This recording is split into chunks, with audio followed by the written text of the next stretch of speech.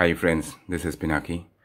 The purpose of this video is that today morning I, uh, as usual, went to make my morning coffee and uh, I broke the fresh seal. This is as you can see Nescafe.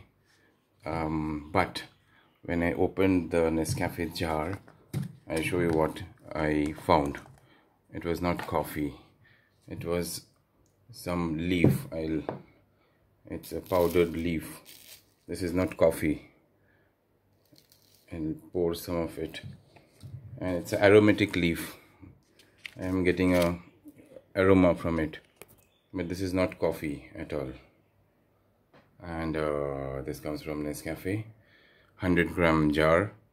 And I purchased this from Bigbasket uh, and this is the order number as you can see on the screen. It's MKOVO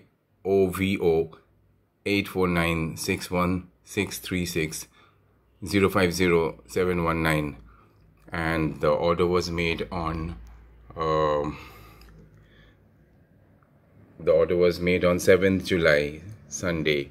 And the amount paid was 3907 and as you can see that uh, this item was in the order.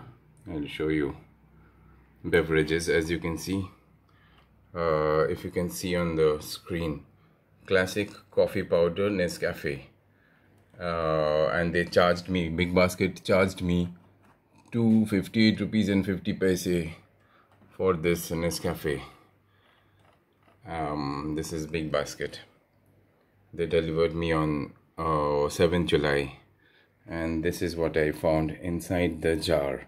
It is not coffee it's a, a powdered leaf from a fresh new Nescafe 100 gram jar